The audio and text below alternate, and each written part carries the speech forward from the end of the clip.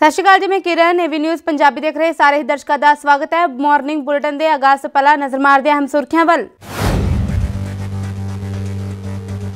Delhi police ਵੱਲੋਂ ਲੱਖਾ ਸਿਧਾਣਾ ਦੇ ਭਰਾ ਨਾਲ ਕੁੱਟਮਾਰ। ਪਰਿਵਾਰ ਦੇ ਪੰਜਾਬ ਸਰਕਾਰ ਤੇ ਗੰਭੀਰ ਇਲਜ਼ਾਮ।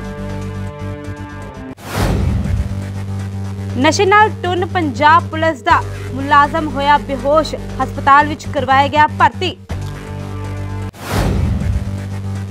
ਲੱਖਾ ਸਿਧਾਣਾ ਦੇ ਭਰਾ ਤੇ ਦਿੱਲੀ ਪੁਲਿਸ ਦਾ ਤਸ਼ੱਦਦ ਨਵਜੋਤ ਸਿੱਧੂ ਨੇ ਗੁੱਸੇ ਵਿੱਚ ਕਹੀ ਵੱਡੀ ਗੱਲ। ਦਿੱਲੀ ਵਿੱਚ ਬੇਕਾਬੂ ਹੋਇਆ ਕਰੋਨਾ, ਕੇਜਰੀਵਾਲ ਨੇ ਦੱਸਿਆ ਕਦੋਂ ਲੱਗੇਗੀ ਤਾਲਾਬੰਦੀ। ਐਸਆਈਟੀ ਤੇ ਹਾਈ ਕੋਰਟ ਦੇ ਫੈਸਲੇ ਤੇ ਭਗਵੰਤ ਮਾਨ, ਲੋਹਾ ਲਾਖਾ। ਏਜੀ ਅਤੁਲ ਨੰਦਾ ਤੇ ਮੜੇ ਵੱਡੇ ਦੋਸ਼। ਲਾਠੀਚਾਰਜ ਤੋਂ ਭੜਕੇ ਬੇਰੁਜ਼ਗਾਰ ਅਧਿਆਪਕ ਨਹਿਰ ਚ ਮਾਰੀ ਛਾਲ। ਹੁਣ ਖਬਰਾਂ ਵਿਸਥਾਰ ਨਾਲ। ਸਭ ਤੋਂ ਪਹਿਲਾਂ ਗੱਲ ਕਰਾਂਗੇ ਲੱਖਾ ਸਿਧਾਣਾ ਦੇ ਭਰਾ ਦੀ। ਲੱਖਾ ਸਿਧਾਣਾ ਦੇ ਭਰਾ ਦੀ ਦਿੱਲੀ ਪੁਲਿਸ ਵੱਲੋਂ ਕੁੱਟਮਾਰ ਕੀਤੀ ਗਈ ਜਿਸ ਨੂੰ ਲੈ ਕੇ ਲੱਖਾ ਸਿਧਾਣਾ ਤੇ ਉਸ ਦੇ ਪਰਿਵਾਰਕ ਮੈਂਬਰਾਂ ਨੇ ਦਿੱਲੀ ਪੁਲਿਸ ਅਤੇ ਪੰਜਾਬ ਸਰਕਾਰ ਤੇ ਗੰਭੀਰ ਇਲਜ਼ਾਮ ਲਗਾਏ ਨੇ। ਦੇ ਰਾਤ ਲੱਖਾ ਸਿਧਾਣਾ ਦੇ ਚਚੇਰੇ ਭਰਾ ਗੁਰਦੀਪ ਸਿੰਘ ਨੂੰ ਬਠਿੰਡਾ ਦੇ ਸਰਕਾਰੀ ਹਸਪਤਾਲ ਵਿੱਚ ਭਰਤੀ ਕਰਵਾਇਆ ਗਿਆ। ਉਹਨਾਂ ਦੇ ਸਰੀਰ ਤੇ ਸੱਟਾਂ ਦੇ ਨਿਸ਼ਾਨ ਹਨ। ਪਿੰਡ ਵਾਲੇ ਕਹਿ ਰਹੇ ਹਨ ਕਿ ਉਸ ਨੂੰ ਦਿੱਲੀ ਪੁਲਿਸ ਨੇ ਪਟਿਆਲਾ ਤੋਂ ਜ਼ਬਰਦਸਤੀ ਚੁੱਕ ਕੇ ਕੁੱਟਿਆ। ਸਿਵਲ ਹਸਪਤਾਲ ਮੌਕੇ ਤੇ ਪਹੁੰਚੇ ਲੱਖਾ ਸਿਧਾਣਾ ਨੇ ਪੰਜਾਬ ਸਰਕਾਰ ਤੇ ਇਲਜ਼ਾਮ ਲਗਾਉਂਦੇ ਕਿਹਾ ਕਿ ਇਹਨਾਂ ਦਾ ਫੇਲਿਅਰ ਰਿਹਾ ਜੋ ਦਿੱਲੀ ਪੁਲਿਸ ਪੰਜਾਬ 'ਚ ਦਾਖਲ ਹੋ ਕੇ ਸਾਡੇ ਨੌਜਵਾਨ ਨਾਲ ਕੁੱਟਮਾਰ ਕਰ ਰਹੀ ਹੈ। ਉਹਨਾਂ ਮੰਗ ਕੀਤੀ ਹੈ ਕਿ ਇਸ ਮਾਮਲੇ ਵਿੱਚ ਸਖਤ ਕਾਰਵਾਈ ਹੋਣੀ ਚਾਹੀਦੀ ਹੈ।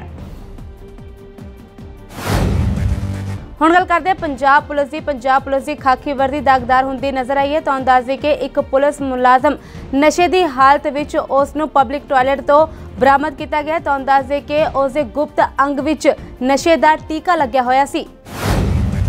ਨਸ਼ੇ ਦੀ ਸਪਲਾਈ ਅਤੇ ਨਸ਼ਾ ਤਸਕਰਾਂ ਨੂੰ ਨੱਥ ਪਾਉਣ ਵਾਲੀ ਪੰਜਾਬ ਪੁਲਿਸ ਜਦੋਂ ਆਪ ਹੀ ਨਸ਼ੇ ਨਾਲ ਟੁੰਨ ਮਿਲੇ ਤਾਂ ਤੁਸੀਂ ਅੱਗੇ ਆਪ ਹੀ ਅੰਦਾਜ਼ਾ ਲਗਾ ਸਕਦੇ ਹੋ।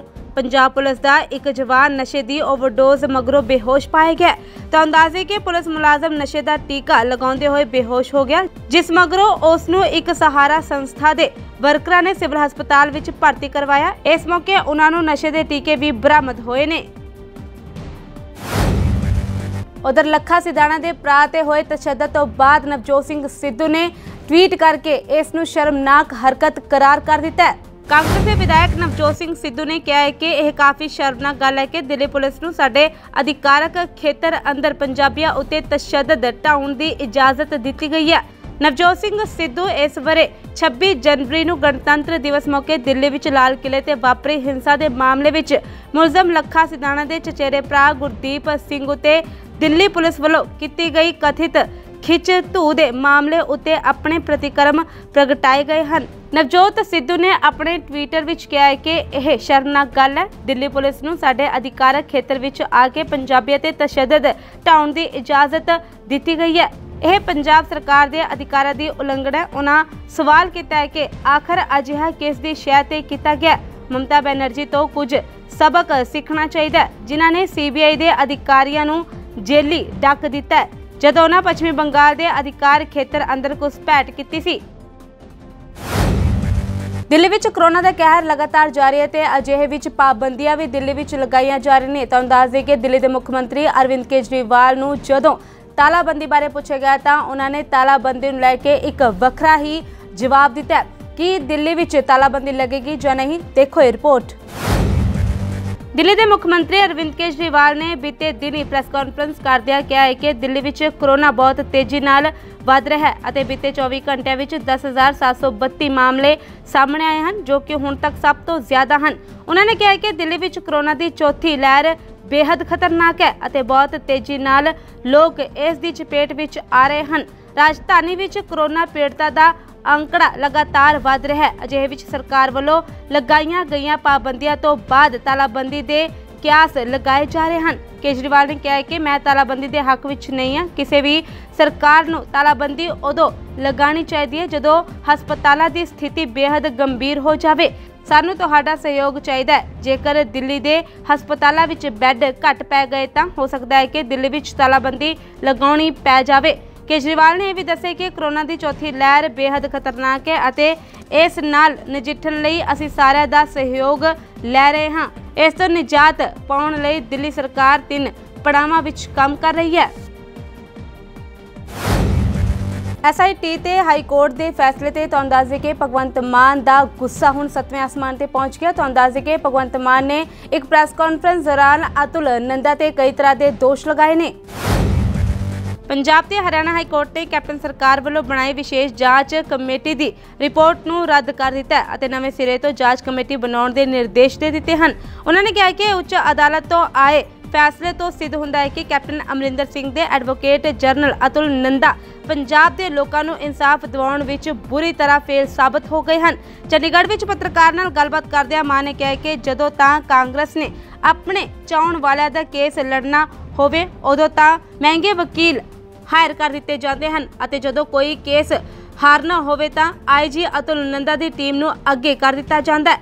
ਮਾਨੇ ਕਿਹਾ ਕਿ ਅਤੁਲ ਨੰਦਾ ਦੀ ਟੀਮ ਵੱਲੋਂ ਜਾਣਬੁੱਝ ਕੇ ਬੇਅਦਬੀ ਦੇ ਇਸ ਮਾਮਲੇ ਨੂੰ ਕਮਜ਼ੋਰ ਬਣਾ ਕੇ ਪੇਸ਼ ਕੀਤਾ ਗਿਆ ਜਿਸ ਕਾਰਨ ਹਾਈ ਕੋਰਟ ਨੇ ਇਹ ਫੈਸਲਾ ਸੁਣਾਇਆ ਮਾਨੇ ਕਿਹਾ ਕਿ ਅਜਿਹਾ ਕੋਈ ਵੀ ਕੇਸ ਨਹੀਂ ਹੈ, ਜਿਹੜਾ ਅਤੁਲ ਨੰਦਾ ਦੀ ਟੀਮ ਨੇ ਜਿੱਤਿਆ ਹੋਵੇ, ਭਾਵੇਂ ਉਹ ਸਕੂਲ ਫੀਸਾਂ ਦਾ ਮਾਮਲਾ ਹੋਵੇ ਜਾਂ ਫਿਰ ਸਾਬਕਾ ਡੀਜੀਪੀ ਸਮੇਤ ਸੈਣੀ ਦਾ ਕੇਸ ਹੋਵੇ, ਉਹਨਾਂ ਨੇ ਦੋਸ਼ ਲਗਾਉਂਦੇ ਕਿਹਾ ਕਿ ਜਿਸ ਤਰ੍ਹਾਂ 2016 ਵਿੱਚ ਪ੍ਰਕਾਸ਼ ਸਿੰਘ ਬਾਦਲ ਦੀ ਸਰਕਾਰ ਨੇ ਕੈਪਟਨ ਅਮਰਿੰਦਰ ਸਿੰਘ ਤੇ ਸਾਰੇ ਕੇਸ ਵਾਪਸ ਲੈ ਲਏ ਸਨ, ਉਸੇ ਤਰ੍ਹਾਂ ਹੁਣ ਕੈਪਟਨ ਅਮਰਿੰਦਰ ਸਿੰਘ ਚੋਣਾਂ ਤੋਂ ਪਹਿਲਾਂ ਬਾਦਲ ਦੇ ਕੇਸ ਵਾਪਸ ਲੈ ਰਹੇ ਹਨ। ਮਾਨੇ ਕਿਹਾ ਹੈ ਕਿ ਪਹਿਲਾਂ ਵੀ ਵੋਟਾਂ ਸਮੇਂ ਕੁੰਵਰ ਵਿਜੇ ਪ੍ਰਤਾਪ ਸਿੰਘ ਨੂੰ ਹਟਾਇਆ ਗਿਆ ਸੀ ਅਤੇ ਹੁਣ ਵੀ ਉਂਝ ਹੀ ਕੀਤਾ ਗਿਆ ਹੈ।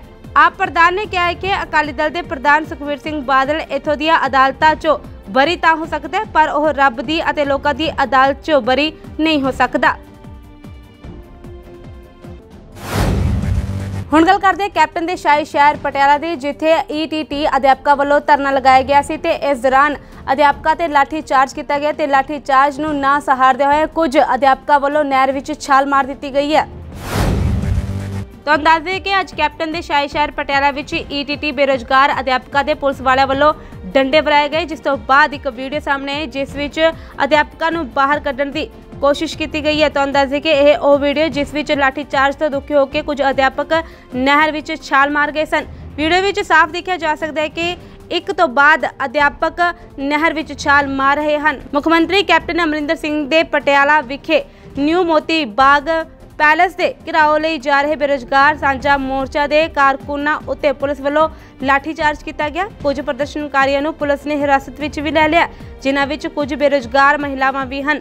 ਤਾਂ ਅੰਦਾਜ਼ੇ ਕਿ ਬੇਰੁਜ਼ਗਾਰ ਅਧਿਆਪਕ ਰੁਜ਼ਗਾਰ ਪ੍ਰਾਪਤੀ ਲਈ ਪਿਛਲੇ ਕਾਫੀ ਚਿਰ ਤੋਂ ਸੰਘਰਸ਼ ਕਰ ਰਹੇ ਹਨ। ਅੱਜ ਠਿਕਰੀ ਵਾਲਾ ਚੌਂਕ ਤੋਂ ਪੈਲਸ ਵੱਲ ਵਧੇ ਤਾਂ ਰਸਤੇ ਵਿੱਚ ਹੀ ਪੁਲਿਸ ਨੇ ਉਹਨਾਂ ਨੂੰ ਅੱਗੇ ਵਧਣ ਤੋਂ ਰੋਕਣ ਲਈ ਲਾਠੀਚਾਰਜ ਸ਼ੁਰੂ ਕਰ ਦਿੱਤਾ, ਜਿਸ ਵਿੱਚ ਪੁਲਿਸ ਨੇ ਕਈ ਅਧਿਆਪਕਾਂ ਨੂੰ ਜੇਲ੍ਹ ਵਿੱਚ ਡੱਕ ਦਿੱਤਾ ਅਤੇ ਲਾਠੀਚਾਰਜ ਤੋਂ ਦੁਖੀ ਹੋਏ ਕੁਝ ਅਧਿਆਪਕਾਂ ਨੇ ਨਹਿਰ ਵਿੱਚ ਛਾਲ ਮਾਰ ਦਿੱਤੀ ਹੈ।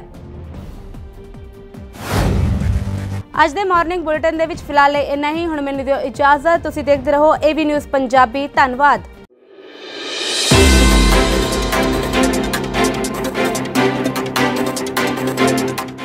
ਦੇਸ਼ ਤੇ ਦੁਨੀਆ ਦੀਆਂ ਖਬਰਾਂ ਦੇਖਣ ਦੇ ਲਈ ਚੈਨਲ ਨੂੰ ਲਾਈਕ ਕਰੋ, ਸਬਸਕ੍ਰਾਈਬ ਕਰੋ ਤੇ ਘੰਟੀ ਦੇ ਨਿਸ਼ਾਨ ਤੇ ਕਲਿੱਕ ਕਰੋ।